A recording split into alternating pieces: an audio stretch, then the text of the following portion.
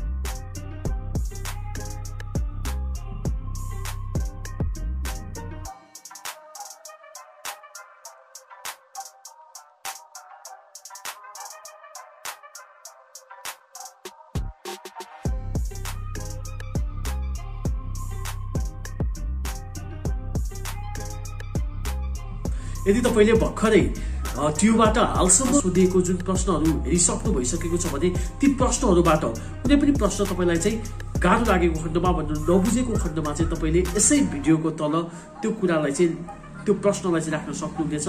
साथसाथै हाम्रो जुन फेसबुक पेज छ नेपाल क्याम्पस इन्फर्मेसन इन्डिया सो त्यो पेजमा पनि गएर तपाईँले चाहिँ इनबक्समा त्यो प्रश्नहरूलाई चाहिँ राखिदिनु भयो भने वा ग्रुपमा पनि त्यो प्रश्न छोडिदिनु भयो भने चाहिँ तपाईँले ती प्रश्नहरूको चाहिँ उत्तर प्राप्त गर्नुहुनेछ त्यसैले यति भन्दै आगामी दिनमा पनि यस्तै यस्तै भिडियोहरू लिएर उपस्थित हुने बाचा राख्दै आज भने म तपाईँहरू सबैबाट बिदा हुने अनुमति चाहन्छु। हस्त धन्यवाद। जय नेपाल जय देश अनि जय कानुन।